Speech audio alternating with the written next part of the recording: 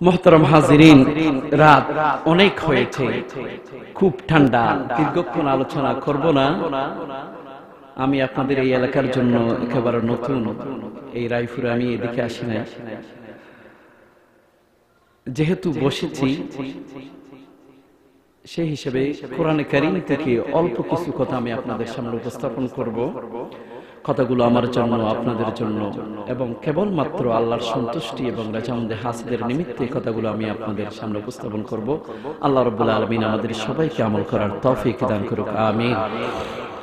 মহতরম হাজিরিন, বলুন তো দেখি আমাদেরকে আজকের এই মাহফিলে আসার, বসার তৌফিক দান করেছেন কে?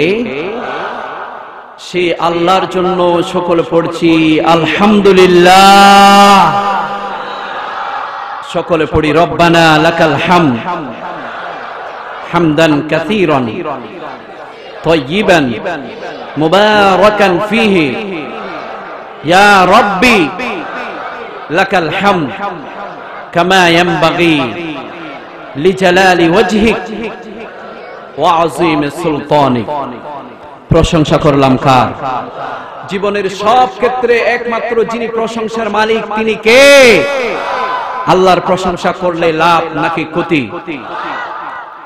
হায়াতে রিজিকে এবং জীবনের সব ক্ষেত্রে বরকত প্রদান করবেন কে? এবারে বলুন তো দেখি আমরা যে নামাজ আদায় করি, সেই নামাজের ভিতরে আমরা তাকবীর দিই কার? যে সলাতের জন্য আজান হয় সেই সলাতের আজানের শুরুতে তাকবীর আছে কার? জানাজার যে সলাত সেই সালাতের ভিতরে তাকবীর আছে নাকি নাই? এক শ্রেণির কুলাঙ্গার আজ আমাদের দেশের মধ্যে তৈরি হয়েছে। যুব সমাজকে তারা ধ্বংসের দ্বার প্রান্তে নিয়ে যাওয়ার জন্য, আল্লাহর তাকবীর থেকে দূরে সরিয়ে রাখার জন্য, আজ তারা যুব সমাজদেরকে একতা বুঝানোর জন্য ওত পেতে রয়েছে এবং এই মেসেজটা দিতে যাচ্ছে। তাকবীর এইটা নাকি দলীয় স্লোগান? এইটা দেওয়া যাবে না। আমি বলতে চাই, তাকবীর এইটা কোনো দলীয় স্লোগান নয়। আকাশ এবং জমিনের যিনি মালিক সেই আল্লাহর স্লোগান হচ্ছে তাকবীর। আমি তো বলেছি কে এভাবে তোদের আব্বা যখন মারা যাবে, তখন তোরা তাকবীর দিস না। জানাজার সলাতে যেহেতু তাকবীর আছে, সেইটা দলীয় স্লোগান। আল্লাহ নিজে বলছেন ওয়ারাব্বাকা ফাকাব্বির। হে নবী, আপনি আপনার রবের নামে শ্রেষ্ঠত্ব ঘোষণা করুন। আপনার রবের নামে তাকবীর দেন। ঘোষণা দিয়েছেন কে? সুতরাং যে সমস্ত নাস্তিক মোরতাদ কিংবা মুনাফেক যারা তাকবীরকে দলীয় স্লোগান বলে সমাজের যুব সমাজকে বিভ্রান্ত করার চেষ্টা করেছে ওগুলো কোন দলীয় লোক নয়। এগুলো রাম দাসদের পাঁচ চারা গোলাম ছাড়া কিছুই নয়। তাহলে তাকবীর আছে যেখানে আমরা আছি। কোরআন আছে যেখানে আমরা আছি। মোহতরম হাজিরিন। আসুন আমি আপনাদের সামনে একটি বিষয়ের উপর আলোচনা রাখার জন্য চেষ্টা করেছি। আল্লাহ রাব্বুল আলামিন কোরআনে কারীমের মধ্যে বলেছেন ওয়ালা তামুতুন্না ইল্লা ওয়া আনতুম মুসলিমুন। সময় যেহেতু কম সেহেতু কোরআনে কারীমের এই আয়াতের পুরো ব্যাখ্যাটা আমি আপনাদের সামনে উপস্থাপন করব না। শুধু এতটুকুন বলব ওয়ালা তামুতুন্না ইল্লা ওয়া আনতুম মুসলিমুন। আল্লাহ বলছেন মুসলমান না হওয়া ব্যতীত তোমরা মৃত্যুবরণ করো। মোহতারাম হাজিরিন, তাহলে আজ আমরা এখানে, আজকে আমরা যারা উপস্থিত হয়েছি, আমরা একটি গ্রন্থ থেকে আমরা আলোচনা শুনব সেই গ্রন্থের নাম কি? বলুন সেই গ্রন্থের নাম কি? এখানে কোনো সন্দেহ আছে? কোন সন্দেহ আছে? জালিকাল কিতাব লা রাইবা ফি হুদাল লিল মুত্তাকিন। ঘোষণা দিয়েছেন কে? এই কোরআনের পক্ষে থাকলে লাভ, আর না থাকলে ক্ষতি। এই কোরআনের বিরুদ্ধে যে বা যাহারা অতীতে লেগেছিল, তাদেরকে দুনিয়া থেকে ধ্বংস করে দিয়েছেন কে? আবু জেহেলের মতো এত বড় ব্যক্তি, এত বড় ক্ষমতাধর ব্যক্তি, আল্লাহর নবীর বিরুদ্ধে, কোরআনের বিরুদ্ধে লেগে জমিনের মধ্যে থাকতে পারে নাই। সুতরাং কিয়ামত পর্যন্ত কোরআনের বিরুদ্ধে যারা অবস্থান নিবে, তাদেরকে দুনিয়া থেকে জিল্লতির সহিত বিবাদ করে দিবেন কে?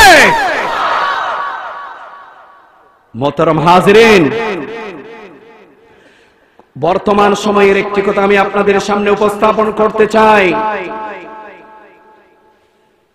চীনের উইগুরের মুসলমানদেরকে নির্যাতন করা হলো, নিপীড়ন করা হলো এমন কি মুসলমানদেরকে হাত পা বেঁধে হত্যা করা হচ্ছে। মসজিদ মসজিদগুলোতে তালা লাগিয়ে দেওয়া হচ্ছে। শুধুমাত্র তাই নয়, তারা একটি সিদ্ধান্ত নিল, এমন তারা আল্লাহর কোরআনকে নিজেদের মতো করে আবার নতুন করে চাপিয়ে তাদের দেশের মধ্যে সেটাকে প্রচলন করবে। আল্লাহ রব্বুল আলমিন একটা সিদ্ধান্ত নিয়ে নিয়েছেন, যেহেতু কোরআনের উপরে হস্তক্ষেপ করার জন্য যখনই চীন সরকার যখন এই সিদ্ধান্ত নিয়েছেন, ওই সময়ের মধ্যে আল্লাহ রব্বুল আলমিন তাদের উপরে গজব দিয়েছেন করোনা নামের ভাইরাস দিয়ে সেই দেশকে ভূমিতে কম্পিত করে দিয়েছেন। সুতরাং কোরআনের বিরুদ্ধে যারা অবস্থান নেবে, তাদের উপরে আল্লাহর লানত আছে নাকি নয় আজও যারা আজও যারা রঙিন চশমা চোখ দিয়ে আপনারা রঙিন রঙিন স্বপ্ন দেখছেন, কোরআনের বিরুদ্ধে আইন প্রণয়ন করেছেন, কোরআনের বিরুদ্ধে কথা বলছেন, কোরআনের পক্ষে যারা কথা বলে, তাদেরকে মিথ্যা হামলা, মামলার মধ্যে ঢুকিয়ে দিচ্ছেন। আল্লাহর কসম করে বলছি, আকাশ এবং জমিনের মালিক এখনও আছে নাকি নাই? মোহতারাম হাজিরিন। এরপরে আসেন ভারত সরকার। মুসলমানরা গরু জবাই করে খায়, সেজন্য মুসলমানদের উপর নির্যাতন করবে এমনকি গুস্ত খাওয়ার অপরাধে কত লোককে হত্যা করল। এক পর্যায়ে তারা সিদ্ধান্ত নিল, মুসলমানদের শত বছরের ঐতিহ্য বাপরি মসজিদ মোহতরম হাজিরিন। বলতে চাই যে এভাবে যেদিন জেনে রাখো যেদিন মসজিদের মধ্যে হাতুড়ি দিয়ে আঘাত করবে ওই মসজিদের ইট যতটা টুকরো টুকরো হবে আল্লাহ রব্বুল আলমিন ভারতকে তসনস করে সেই ভারতের মধ্যে প্রত্যেকটা টুকরোর বিনিময়ে এক একটা করে আল্লাহর ঘর জোরে বলেন পারেন কি পারেন না? মোহতারাম হাজিরিন, আল্লাহ পাক সেজন্য সেই কোরআন কারীমের মধ্যে বলেছেন, ওয়ালা তামুতুন্না ইল্লা ওয়া আনতুম মুসলিমুন, মুসলমান না হয়ে মৃত্যুবরণ করো। আর এই কোরআনের পক্ষে থাকলেই লাভ, যদি কোনো বান্দা জিরো হয়, তাকে হিরো বানিয়ে দিবেন কে? তিনি শুনতে পেয়েছিলেন। সফর থেকে এসে বেলালকে জিজ্ঞেস করলেন, ও বেলাল দুনিয়ার মধ্যে তুমি এমন কি আমল করো? যার দরুন তোমার সম্মানটা এতই বেশি বৃদ্ধি পেয়েছে, আমি জান্নাতের মধ্যে তোমার খরমের আওয়াজ কেন শুনতে পেলাম? হজরত বেলাল বলেন, ইয়া রাসূলুল্লাহ, তেমন তো কোনো আমল করি না এই এই আমল করি। মোহতারাম হাজিরিন হজরত বেলালের মতো ব্যক্তি যখন এই কোরআনের সাথে লেগে গেল কোরআনকে অনুসরণ করল, নিজের জীবনটাকে আল্লাহর রসুলের আদর্শের কাছে নত করে দিলেন, তখন বেলালের মর্যাদাটা বৃদ্ধি করে দিলেন। কে?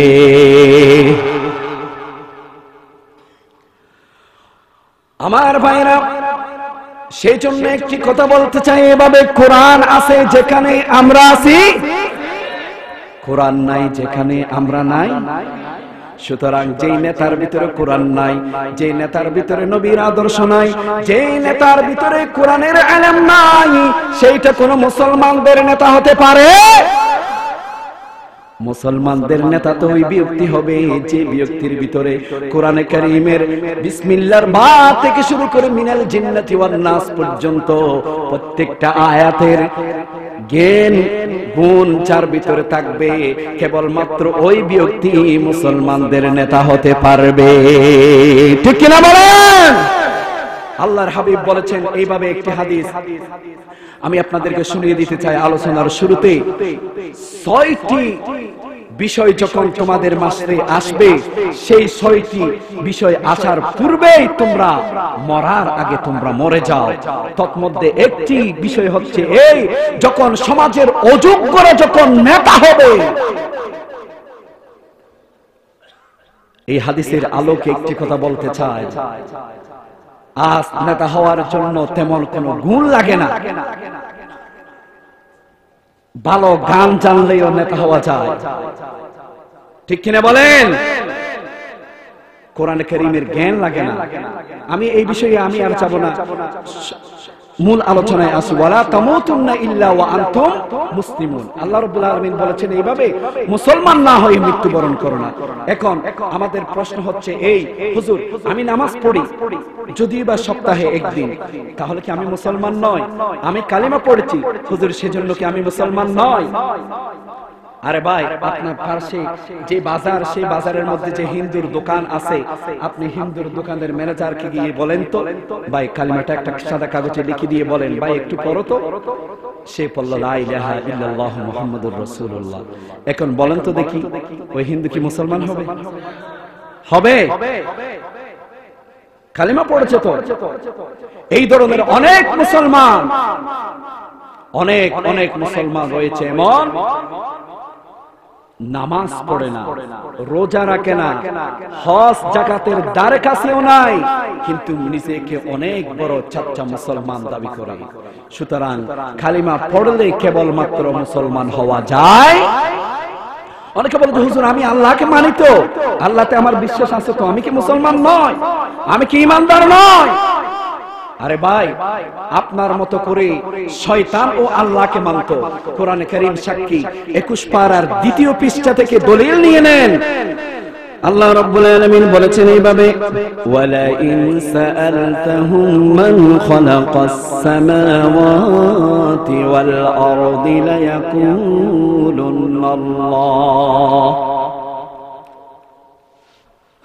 যখন তাদেরকে আপনি জিজ্ঞেস করেন হ্যাঁ নবী, আপনি তাদেরকে জিজ্ঞেস করেন, এই আকাশ, এই জমিন, এগুলোকে বানিয়েছে, এগুলোর কোন সৃষ্টিকর্তা আছে নাকি? তখন তারা বলবে তারা অবশ্যই অবশ্যই বলবে, জবাব দিবে, অবশ্যই অবশ্যই এগুলো বানিয়েছেন আল্লাহ। কে? তাহলে কাফেরও তো বলল, আল্লাহ। তাহলে কি কাফের কি ইমানদার হবে? মুসলমান হবে? আরেকটি ঘটনা শুনে নেন। মক্কার কুফাররা আল্লাহর হাবিবের বয়স তখন খুব কম। ওই সময়ের মধ্যে হানায় কাবা নির্মাণের জন্য দেখা দিল, হানায় কাবার অনেকটা দেওয়াল ভেঙে গেল। তখন মক্কার কুফাররা সিদ্ধান্ত নিল, হানায় কাবা পুনর্নির্মাণ করা লাগবে। সমস্ত তাদের নেতারা একত্রিত হলো এবং এক পর্যায়ে এই সিদ্ধান্তে পৌঁছালো যে আমরা আমাদের এই হানায় কাবা নির্মাণ করার ক্ষেত্রে আমাদের হারামের একটি টাকাও আমরা এখানে প্রবৃদ্ধ করব না। কারা সিদ্ধান্ত নিয়েছে? কাফেররা। এরপর বললেন, যার যার হালাল টাকা আছে সেগুলো নিয়ে আসো। নিয়ে আসা হলো। এবং তারা একজন ইঞ্জিনিয়ারকে ডেকে নিয়ে আসলেন। ইঞ্জিনিয়ারকে বললেন, দেখো তো, এই টাকা দিয়ে ইব্রাহিম আলী ইসলাতামের স্মৃতি বিজড়িত এই এই আখের উপরে হানায় কাবা হয় কিনা? ইঞ্জিনিয়ার বললেন, না। এই টাকা দিয়ে তো এইভাবে হবে না। তখন কুফাররা সিদ্ধান্ত নিল আল্লাহর কসম লাত মানাত উজ্জার কসম। আমাদের হারামের একটি টাকাও এই কাবা নির্মাণের ক্ষেত্রে আমরা ব্যবহার করব না। যেই টাকা হয়েছে সেই টাকার প্রেক্ষিতে যতটুকুন হয় ততটুকুন করো। আজকের যুগের মধ্যে যারা হজ করতে গেছেন আপনারা অবশ্যই দেখেছেন। হানায় কাবার বাহিরে একটা অংশ আছে যেটাকে বলা হয় হাতিমে কাবা। এটা হচ্ছে ইব্রাহিম আলাইহিস সালাম যেটা বানিয়েছিলেন তার একটি অংশ।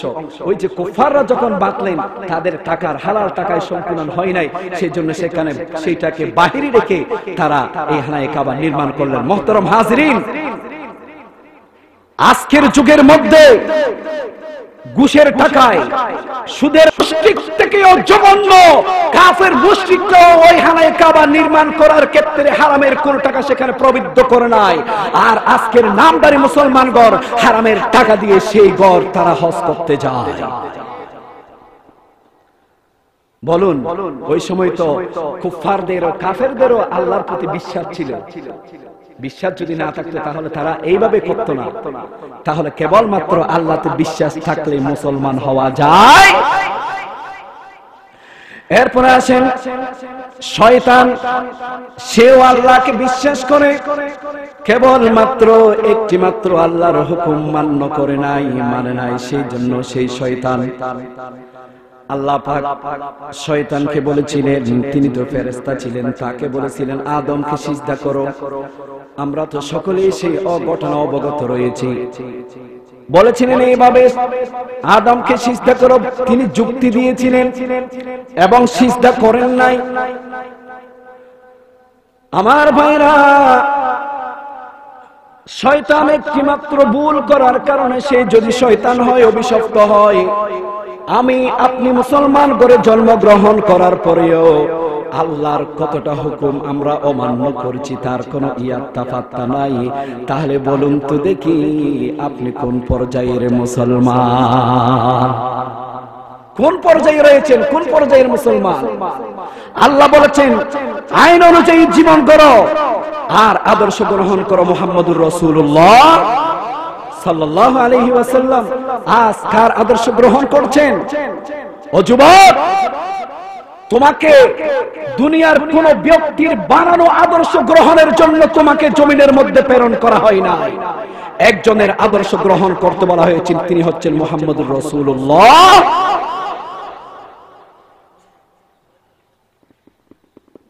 আমার বাইরা আল্লাহ বলেছেন, কোরআন অনুযায়ী তোমার সমাজকে প্রতিষ্ঠা করো। আর আমার দেশের যুবকরা বলে যে কি কোরআন নয় দুনিয়াবী ব্যক্তির বানানো আদর্শ অনুযায়ী সমাজকে পরিচালনা করা লাগবে। তাহলে আপনি আল্লাহর আইনকে আল্লাহর কোরআনকে মানলেন কোথায়? কোন জায়গায় মানলেন, কোন জায়গায় বিসর্জন দিয়ে দিলেন? শয়তান যদি একটি ভুল করার কারণে সে যদি শয়তান হয়, তাহলে আপনি যে কোরআন করিমের অনেকগুলো আয়াতকে মানছেন না, তাহলে আপনি শয়তান থেকে তো অনেক অনেক উপরে পৌঁছে গেছেন। আল্লাহ আকবর। আল্লাহুম্মা সাল্লি আলা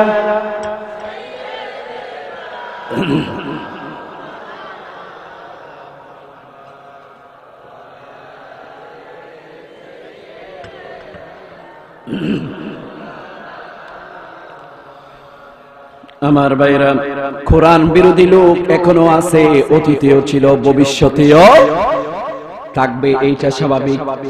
এই কোরআন বিরোধী লোক কয় ধরনের? এক ধরনের লোক হচ্ছে কাফের, যারা সরাসরি আল্লাহর কোরআনের বিরোধিতা করবে। আল্লাহ রাব্বুল আলামিন তাদের উদাহরণটা কোরআনে কারীমের মধ্যে এভাবে দিয়েছেন وقال الذين كفروا لا تسمعوا لهذا القرآن والغوا فيه لعلكم تغلبون سورة سجدة যখন আল্লাহর হাবিব যখন দিনের দাওয়াত দিতেন কোরআন তেলাওয়াত করতেন লোকেরা দলে দলে গিয়ে সেগুলো শুনতো। আর কোরআন শ্রবণের পরে লোকেরা ইসলামের ভিতরে দীক্ষিত হতো, ইসলামকে গ্রহণ করত। আর কাফেররা ওই সময়ের মধ্যে একটা ডিসিশন নিয়ে নিলেন।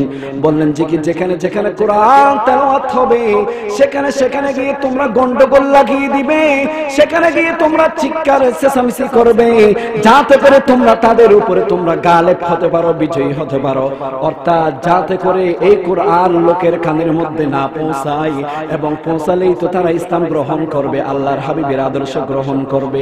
এইটা যাতে না হয় সেই জন্য কোরআন যেখানে যেখানে তাফসির হয়, কোরআনের যেখানে যেখানে দরস হয়, যেখানে যেখানে কোরআন তেলাওয়াত হয়, সেখানে সেখানে তোমরা এই ধরনের বাধা বৃত্তি সৃষ্টি করবে। বাইরে আমার, আপনি আজকের যুগের মধ্যে দেখেন, কোরআনে করিমের যেখানে মাহফিল হয়, সেখানে একশো চল্লিশ ধারা আছে নাকি নাই?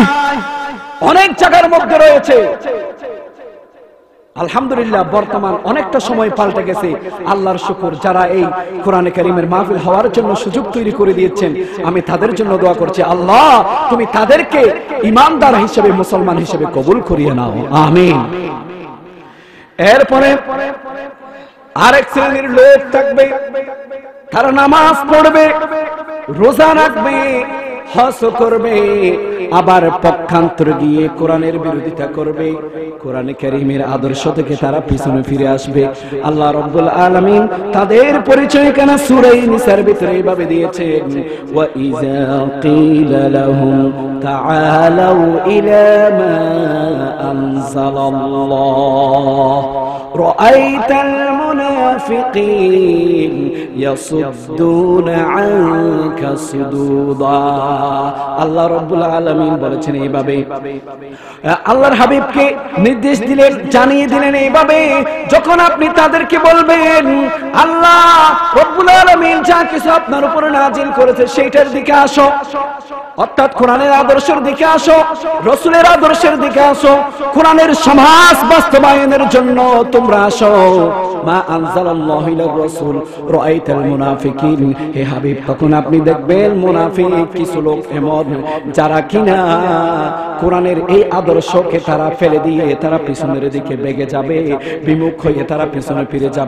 আমার ভাইয়েরা, আজকের সমাজের মধ্যে আপনি দেখেন, নামাজ পড়ে, রোজা রাখে, হজ করে সব কিছুই করে, কিন্তু কোরআনের আইনের কথা বললেই মাথা গরম হয়ে যায়, আছে নাকি নাই?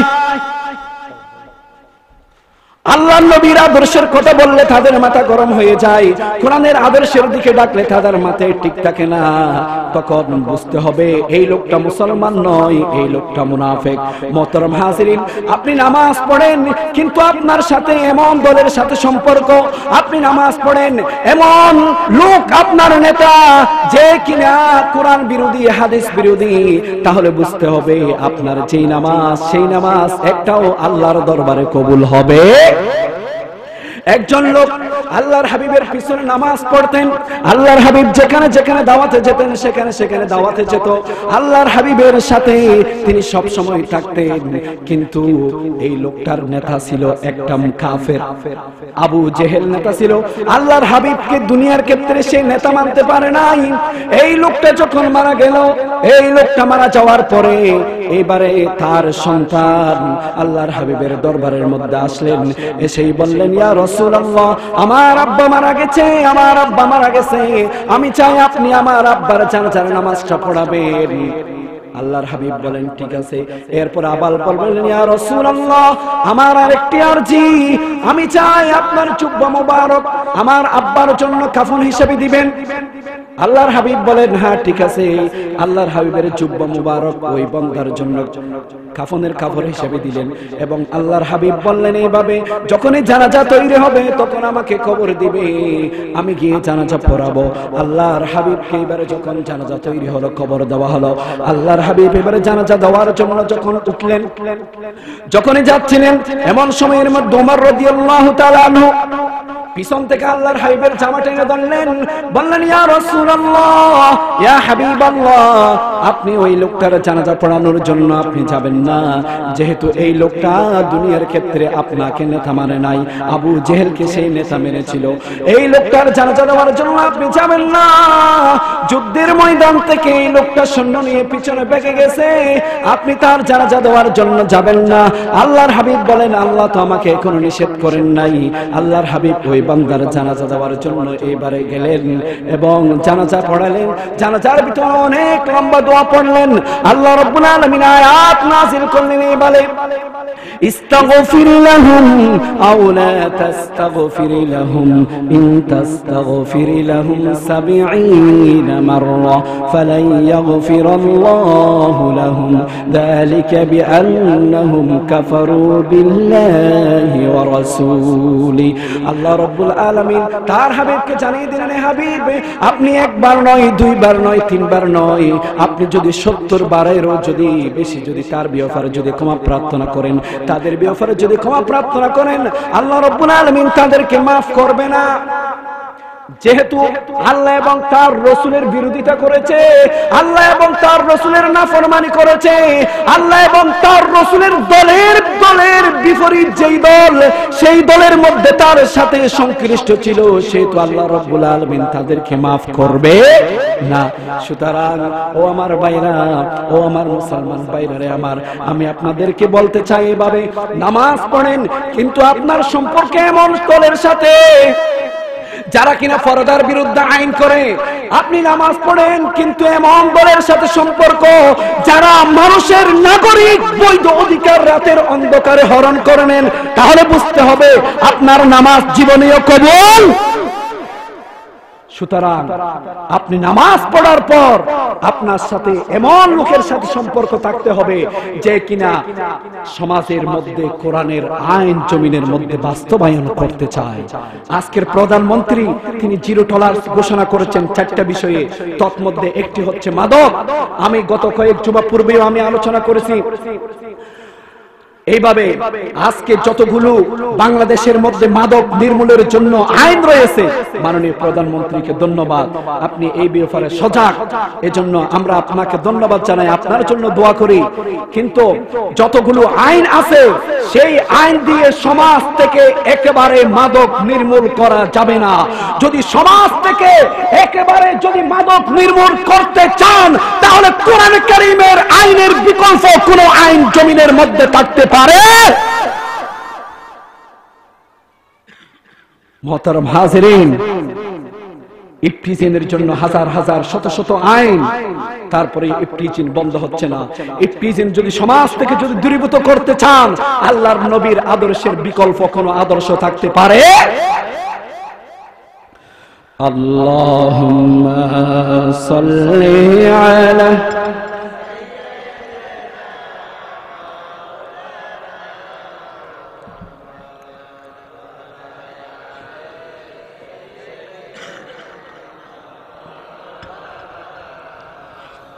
আমার ভাইরা আরেক শ্রেণীর লোক আছে এমন আল্লাহ রব্বুল আলামিন তাদের ব্যাপারে বললেন إنما المؤمنون الذين إذا ذكر الله وجلت قلوبهم وإذا تليت عليهم آياته زادتهم إيمانا আরেক শ্রেণীর লোক আছে এমন যাদের সামনে যখন আল্লাহর জিকির হয় আল্লাহর কোরআন তেলাওয়াত হয়, আল্লাহর তাসবিহ তালিল হয়। আর তাদের যে অন্তর, সেইটা ভীত হয়ে যায় ভীত হয়ে সন্ত্রস্ত হয়ে যায়। তাদের হৃদয়টা কম্পনরত হয়ে যায়। এমন সময়ের মধ্যে তারা দুনিয়ার কাউর উপরে তাওয়াক্কুল করে না। তাওয়াক্কুল করে একজনের উপরে, তিনি কে? বাইরে আমার এবারে আসুন তো দেখি, এই কোরআনে কারিমের বিরুদ্ধে এবং আল্লাহ এবং তার রসুলের বিরুদ্ধে কথা বলে তিন শ্রেণির ব্যক্তি। কয় শ্রেণির আরও চুরো বলেন, কয় শ্রেণি? তিন শ্রেণি। প্রথম নম্বর হচ্ছে কোরআনের বিরুদ্ধে যারা কথা বলে, তারা জারস। তারা কি? যার সন্তান। দ্বিতীয় নম্বর, কোরআনের বিরুদ্ধে যারা কথা বলে, তারা কাফের। তৃতীয় নম্বর, কোরআনের বিরুদ্ধে যারা অবস্থান নেয়, তারা মুনাফেক। কয় শ্রেণির পেলাম? তিন শ্রেণির মুনাফেকেরটা তো বললাম। এরপরে কাফিরেরটাও তো আমি আপনাদের সামনে উপস্থাপন করলাম। এবারে যার আজকে একজন লোক আল্লাহর হাবিব যেখানে যেতেন, সেখানে গিয়ে এসে আল্লাহর হাবিবের নামে কুচ্ছারচনা করত এবং এই ধরনের সেই ধরনের বিভিন্ন রকমের খারাপ মন্তব্য করত। একদিন আল্লাহর হাবিবকে একেবারে গালি গালাসেই করে দিল। আল্লাহ রব্বুল আলমিনের সেইটা সহ্য হয় নাই। তখন আল্লাহ পাক কি করলেন? তার ব্যাপারে একের পর এক, একের পর এক দশটা গালি দিলেন। কয়টা গালি? দশটা গালি দিলেন। তৎমধ্যে একটি কথা বললেন, এমন অতুল্লিম বাদা জালিকা জানিম শব্দের অর্থ হচ্ছে যার সন্তান। এই কথাটা যখন ওই লোকটা শুনল, তখন সে দৌড়াইতে দৌড়াইতে তার মার কাছে আসলো। এসে বললেন, মা, আমি মোহাম্মদকে মানি না ঠিক, কিন্তু আমি এইটা বিশ্বাস করি যে মোহাম্মদ কিন্তু কখনো মিথ্যা কথা বলেন না। তিনি বলছেন, আমি নাকি জারস আপনি বলেন, আমি জারস কিনা? তখন তার মা তাকে বলল, আমার প্রিয় বৎস, আগে তোর হাতের মধ্যে যে তরবারি আছে সেইটা একটু রাখ। আমার কথাগুলো শোন। আমার কথাটা শোন। তোর আব্বা ছিল এই এলাকার সবচেয়ে অনেক বড় নেতা।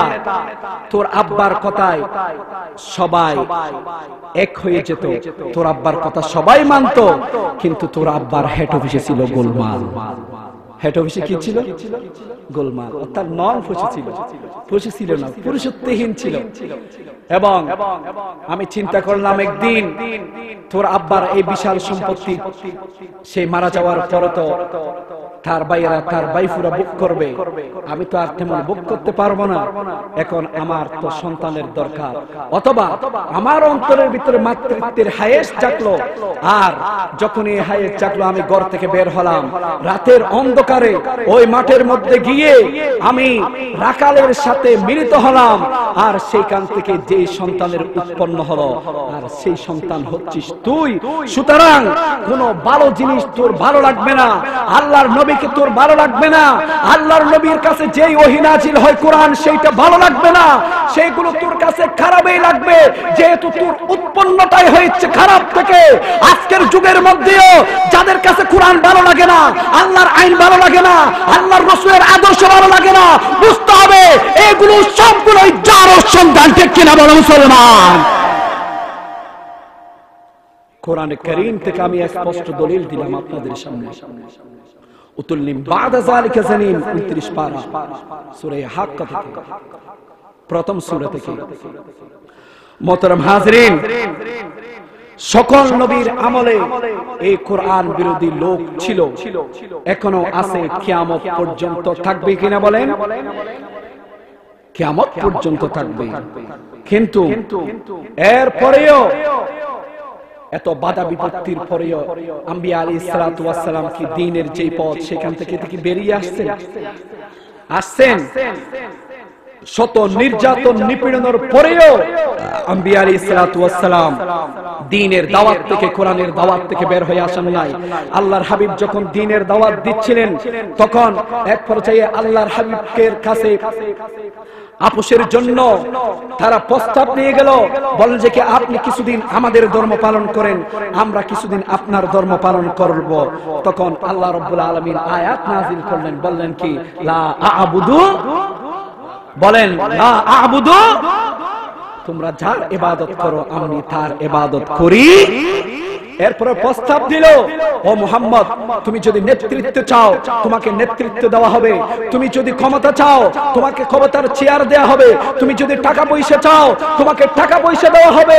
বিনিময়ে তুমি যেই দিনের প্রসার করছ সেটা থেকে দূরে সরে আসো। আল্লাহর হাবিব তখন চিৎকার দিয়ে বলেন, আমার এক হাতে যদি সূর্য এনে দাও আর এক হাতে যদি চন্দ্র এনে দাও, আমাকে যদি আমার সামনে ওডেল পরিমাণ যদি ধন সম্পদ দাও, তারপরেও আমি আল্লাহর পক্ষ থেকে যেই মিশন নিয়ে দুনিয়াতে প্রেরিত হয়েছি, সেই মিশন থেকে একটি মুহূর্তের জন্য আমি পিছপা হব না। আল্লাহর হাবিব সেদিন তাদের প্রস্তাব গ্রহণ করেন।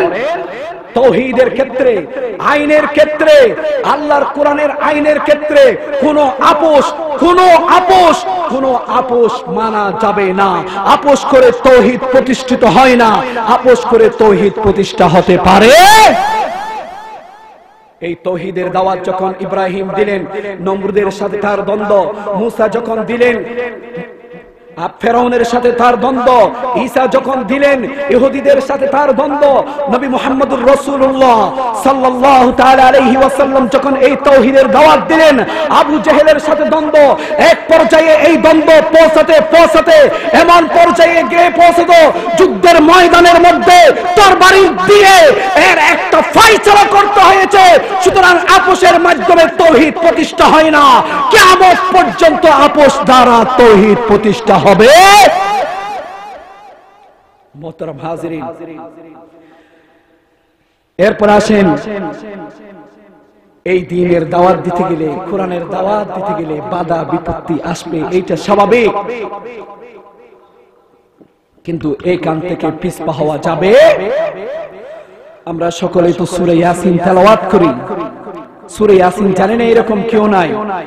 সুরে ইয়াসিনের ওমা লিয়ালা আবুদুল্লাযী ফাতারানি ওয়া ইলাইহি তুরজাউন। এরপরে আত্তাখিজু এরপরে বিমা গফারালি রব্বি ওয়া জাআলানি মিনাল মুকরামিন। কখনো কি পড়েছেন এই আয়াতের ব্যাখ্যার ভিতরে আল্লাহ রাব্বুল আলামিন কি মেসেজ আমাদেরকে দিয়েছেন? পড়েন নাই। এই আয়াতের ভিতরে আল্লাহ রাব্বুল আলামিন এই মেসেজটা দিয়েছেন, ঈসা ওয়াস সালাম, তার দুইজন হাওয়ারি, এন্তাকিয়া জনপদের মধ্যে দ্বীনের দাওয়াত নিয়ে গেলেন। এক পর্যায়ে আমি সার সংক্ষেপ করছি, আমি আলোচনা সংক্ষেপ করে দেব। দয়া করে আপনারা যাবেন না, মোনাজাতটা দিয়ে যান, আমি আর পাঁচ মিনিটের মধ্যে আমি শেষ করে দেব ইনশাআল্লাহ। এবং সবার জন্য তাবরুকের ব্যবস্থা আছে, তাবরুক নিয়েই যাবেন। আমি বুঝতে পারছি মুরব্বীরা, আপনাদের খুব কষ্ট হচ্ছে, শীত অনেক অনেক অনেক। ঠান্ডা অনেক আপনাদের কষ্ট হচ্ছে? দয়া করে আর পাঁচ মিনিটের মতো বসেন ইনশাআল্লাহ আমি শেষ করে দেবো। এই কথাটা বলেই আমি শেষ করে দেবো। ইন্তাকিয়া জনপদের মধ্যে দাওয়াত নিয়ে গেলেন। এরপর ইন্তাকিয়া জনপদের লোকেরা দাওয়াত গ্রহণ করল না। যাওয়ার পথে ওই দুইজন লোক দেখতে পেলেন। একজন কৃষক মাঠের মধ্যে কাজ করছে। তাকে দাওয়াত দিলেন। লোকটা গ্রহণ করল। এরপর যখন আর কিছু দূর গেলেন, ইন্তেকিয়া জনপদের কিছু লোক, ঈসা আলী সালামের সেই দুই হাওয়ারিকে ধরে ফেলল এবং পিটানো শুরু করলেন। এই মেসেজটা ওই কৃষকের কাছে পৌঁছালো। কৃষক দৌড়াইতে দৌড়াইতে আসলেন। বললেন যে তোমরা কাদের উপরে মারছো? কাকে প্রহার করছ? এই লোকগুলো তো কোনো খারাপ কথা বলে নাই। ইনসাফের কথা বলেছে। তখন তারা বলল, তোমরাও কি তাহলে? তার অনুসারী হয়ে গেছে তুমিও। বলেছে কি, যদি মনে করো তাই। এবারে ওই দুইজন লোককে ছেড়ে দিয়ে এবারে ওই কৃষির উপরে ঝাঁপিয়ে পড়ল। এক পর্যায়ে তাকে মারতে মারতে একেবারে কঠিন পরিস্থিতি তৈরি করে ফেলল। ওই সময়ের মধ্যে ওই লোকটা হাসতে আরম্ভ করল। তখন লোকেরা বলল, তোমার তো বাসাও বাসাও বলে আকুতি মিনতি করার কথা। কিন্তু সেটা না করে বরং তোমরা হাসছো। তুমি হাসছো, এর কারণ কি? তখন ওই লোকটা জবাব দিল, এইভাবে বিমা গফর আলী রব্বি ওয়াজআলানি মিনাল মুকরামিন। যদি জানতো আমার এই জনপদ, আমার এই লোক, আমার এই কম যদি জানতো, আল্লাহ পাক আমাকে কত সম্মানিত করেছেন। আল্লাহ আমাকে এমন সম্মানিত করেছেন যে কি, যে জান্নাত ছিল অনেক দূরে, এই দিন গ্রহণ করার কারণে সেই জান্নাতকে আল্লাহ রব্বুল আলামিন আমার নাকের ডগায় নিয়ে আসছেন। আর আল্লাহ বলছেন, ও লোক, তুমি হাসতে হাসতে তুমি জান্নাতের ভিতরে প্রবেশ করে যাও। মোহতারাম হাজিরিন এই কোরআনের পক্ষে থাকলে দিনের পক্ষে থাকলে ইসলামের পক্ষে থাকলে তাহলে জান্নাত দিবেন কে রসুল করিম সাল্লাল্লাহু তাআলা আলাইহি ওয়াসাল্লাম তার উপরে আয়াত নাজিল হলো এইভাবে ইয়া আইয়ুহার রাসূল বাল্লিগ মা উনজিলা ইলাইকা মির রাব্বিক وإن لم تفعل فما بلغت رسالته والله يعصمك من الناس. আল্লাহ রব্বুল আলামিন তার রাসূলকে ডেকে বললেন, বাল্লিগ মা উনজিলা ইলাইক। আপনি প্রচার করুন, আপনার উপরে যা নাজিল হয়েছে সেইটা। সেইটা দিয়ে আপনি দ্বীনের প্রচার করুন, প্রসার করুন। এখন তো আমাদের দেশের মধ্যে আল্লাহর হাবিবের উপরে যে কোরআন নাজিল হয়েছে সেইটা দিয়ে দিন প্রচার হয় না। কোন ব্যক্তি স্বপ্নের মধ্যে কি পেল, সেটা দিয়ে দিন প্রচার হয়। কোন ব্যক্তি তার বাপ দাদার কি বলেছে সেটা দিয়ে দিন প্রচার হয়। তার মুরব্বীরা কি বলছে? সেটা দিয়ে দিন প্রচার করতেছে। তার আকাবিররা কি বলছে? সেটা দিয়ে দিন প্রচার করতেছে। আল্লাহর কসম করে বলছি, কোরআনে কারীমকে বাদ দিয়ে যদি কোন ব্যক্তি অন্য কোন ব্যক্তির দ্বারা প্রভাবিত হয়ে যদি দিন প্রচারের জন্য যদি নেমে যায়, তার একটাও আল্লাহর দরবারে কবুল হবে না।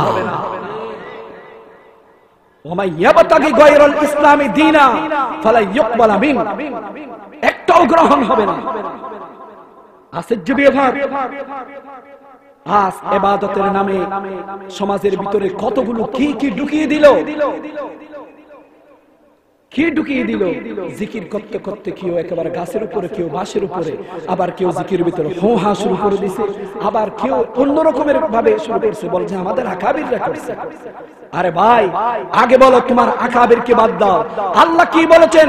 আল্লাহর রসুল কি করেছেন? সেটাই ইসলাম। আল্লাহ কি বলেছেন? আল্লাহর রসুল কি করেছেন? সেটার নাম ইসলাম। বলেন তো দেখি এইভাবে। আল্লাহর হাবিব সাল্লাল্লাহু তাআলা আলাইহি ওয়াসাল্লাম তার সাহাবায়ে কেরামদেরকে নিয়ে মসজিদে নববীর সামনে বসে এইভাবে লাফাইয়া লাফাইয়া জিকির করছে। একটিবার আমাকে বর্ণনা দেখান। সবচেয়ে বর্তমান পৃথিবীর উপরে একবার বিখ্যাত যে গ্রন্থ আল্লাহর হাবিবের শুরু থেকে শেষ পর্যন্ত যার পুঙ্খানু পুঙ্খানু ভাবে উল্লেখিত হয়েছে, আল বিদায়া নিহায়া, সিরাত ইবনে হিশাম। আর রহিকুল মখতুম কই? একটি কিতাবের ভিতরে তো পেলাম না। আল্লাহ, তুমি সবাইকে সমঝ দান করুন। আমিন। তাহলে দিনের দাওয়াত দেওয়া লাগবে। আল্লাহ রব্বুল আলমিন যে কিতাব নাজিল করেছেন সেই কিতাব অনুযায়ী। আর এইটাকে গ্রহণ করা লাগবে। যদি গ্রহণ করা না হয়, তাহলে মুসলমান হওয়া যাবে। বাইরে আমার। এখন তো আমাদের দেশের মধ্যে আমি আলোচনা ইতিপূর্বে শুনেছি, আমাদের খতিব সাহেব হুজুর তিনি বলেছেন, বাংলাদেশের মধ্যে এতগুলো ফির, যতগুলো ফির হয়েছে, অন্য দেশের মধ্যে ততটা নাগরিকও নাই। এতগুলোই ফির হয়েছে। এক একটা তরিকা, এক একটা তরিকা। এক একজনের এক একটা বানানো তরিকা। গত কয়েকদিন পূর্বে মানিকগঞ্জের ফিসাব সেও অন্য রকমের ভাবে বলল। দেওয়ানবাগের ফির সেও অন্যভাবে বলল। আবার অন্যজন অন্যভাবে বলছে। কিন্তু আল্লাহর কসম, আমি একটিবারও শুনলাম না, তারা কোরআন থেকে কথা বলছে। আল্লাহর হাবিব বলেছেন, মন কলা বিহি সদকা যে ব্যক্তি কোরআন থেকে কথা বলে, সেই সত্য কথা বলে। সুবহানাল্লাহ। ইসলাম প্রচার করা লাগবে কোরআন দিয়ে। কি দিয়ে? কোরআন দিয়ে। আরে ভাই, সেদিন মানিকগঞ্জের ফিসাব বলল, কত কীভাবে বলেন কি মুরিদ বলল? রোজহা সরের দিন, আল্লাহর কাছে যদি করে অভিযোগ, আমি বলব, দুনিয়ায় ছিলাম মানিকগঞ্জের লোক। নাউজুবিল্লাহ। এইটা কেমন কথা? জবাবটা হবে এইভাবে। কিরমান কাতিবিহীন রোজাহাসরের দিন। আল্লাহর কাছে যদি করে অভিযোগ, আমি বলব, দুনিয়ায় ছিলাম মোহাম্মদের লোক। ঠিক কিনা বলেন? আপনি যত খবরের ভিতরে গিয়ে যখন বলা হবে, মার রব্বুকা ওমা দিনুকা ওমান নবিয়ুকা। আপনি যদি ওই সময় বলেন আমি দুনিয়াতে তো অমুক আদর্শের লোক ছিলাম অমুক নেতার লোক ছিলাম আমি তো অমুক ফিরের লোক ছিলাম আমি তো তমুক নেতার লোক ছিলাম। তার একটাও যদি কবরের ভিতরে বলে তাহলে ফিরের চামড়া কি রাখবে নাকি থাকবে? রাখবে না থাকবে আপনি যদি বলতে পারেন কবরের ভিতরে ওমান নবিয়ুকা নবিয়ুনা মুহাম্মদুর রাসূলুল্লাহ। তাহলে এই কবরটা জান্নাতের বাগান করে দিবেন কে? বাইরে আমার অনেক অনেকগুলো কথা বলার ছিল। রাত অনেক হয়ে গেছে খুবই ঠান্ডা আপনাদের কষ্ট হচ্ছে। আমি আর বেশি কথা বাড়াচ্ছি না তবে একটি কথা জেনে নেন। যদি আল্লাহ রাব্বুল আলামিন যে বলেছেন ওয়ালা তামুতুন্না ইল্লা ওয়া আনতুম মুসলিমুন। মুসলমান না হয়ে মৃত্যুবরণ করো না। যদি কোরআন কারীমের এই আয়াতটা এটা যদি মানতে চান তাহলে আপনাকে নামাজ পড়ার পর এমন একটা আদর্শ গ্রহণ করা লাগবে যে আদর্শের ভিতরে আল্লাহর হাবিবের আদর্শ আছে। এক আপনি যদি মুসলমান হয়ে মৃত্যুবরণ করতে চান। তাহলে নামাজ পড়ার পাশাপাশি এমন দলের সাথে আপনার সংশ্লিষ্ট হওয়া লাগবে, যেই দলের লোক নামাজ পড়ে, কর্মীরাও নামাজ পড়ে, রাষ্ট্রীয়ভাবে নামাজকে প্রতিষ্ঠা করাতে চায়। দ্বিতীয় নম্বর কথা বললাম। তৃতীয় নম্বর কথা, আপনি যদি মুসলমান হয়ে মৃত্যুবরণ করতে চান, আপনার পায়খানার ভিতর যখন ঢুকবেন বাথরুম সারার জন্য সেখানে আমার ইসলাম আছে নাকি না আপনি ফায়খানাতে কোন পা দিয়ে ডুববেন ফায়খানা থেকে কোন পা দিয়ে বের হবেন, সেটাও আমার ইসলাম নির্ধারণ করে দিয়েছে। সুতরাং আপনার জীবনের প্রত্যেকটা হার রক্তের ভিতরে ইসলামকে পরিপূর্ণরূপে মানা লাগবে। তখন আপনি মুসলমান হিসেবে মৃত্যুবরণ করতে পারবেন। অন্যথায় অন্যথায় আপনার জবানের মধ্যে কালেমা নসিব হবে। আল্লাহ রব্বুল আলমিন আমাদের সবাইকে আমল করার তফিক দান করুক। সকলে পড়ছে আমিন। ওয়াখের দাওয়ানা আলহামদুলিল্লাহ রব্বুল আলমিন। মোনাজাত হবে আমরা সকলে বসি। ধৈর্য সহকারে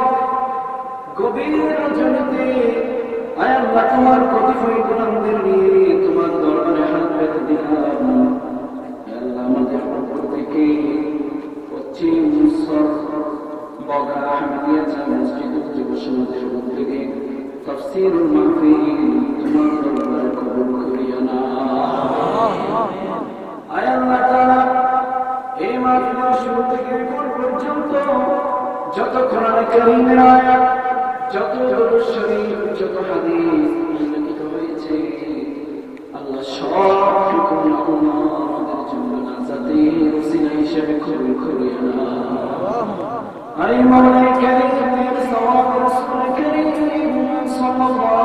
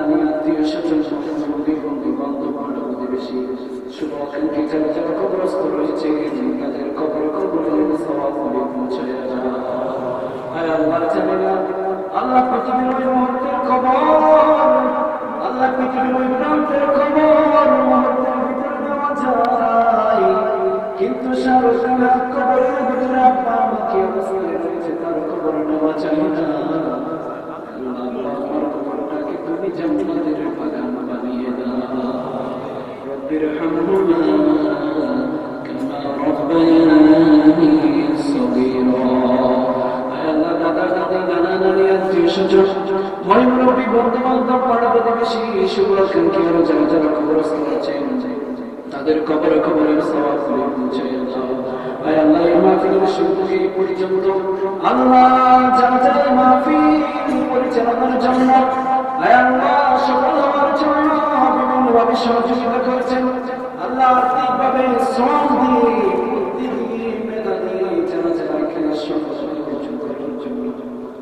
সহযোগিতা করেছে তাদের সবাইকে তুমি কবুল করিয়ে তাদের পরিবারের রহমত নাজিল করিয়ে দাও। আল্লাহ তাদের বরকত নাজিল করিয়ে দাও। আল্লাহ যারা যারা অসুস্থতার মধ্যে রয়েছে, তুমি তাদেরকে শেফায়ে আজরা করিয়ে দান করিয়ে দাও। আল্লাহ থেকে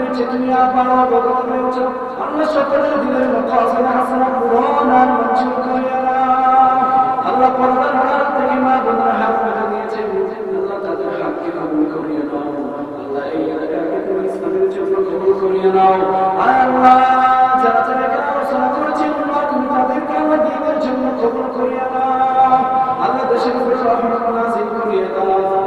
আল্লাহ এই দেশের স্বাধীনতার জন্য আল্লাহ যারা যারা জীবন দিয়েছেন, আল্লাহ ইমানের সহিত কবর দিয়েছেন আল্লাহ তুমি তাদের জন্য জান্নাতের ব্যবস্থা করিয়ে দাও। আল্লাহ যারা মধ্যে রয়েছেন আল্লাহ তাদের অন্তরের ভিতরে বড়কালীন ভয় ভয় সৃষ্টি করে জনগণের যে অধিকার সেটা যথাযথভাবে আদায় মতো করিয়ে দাও। আল্লাহ বালা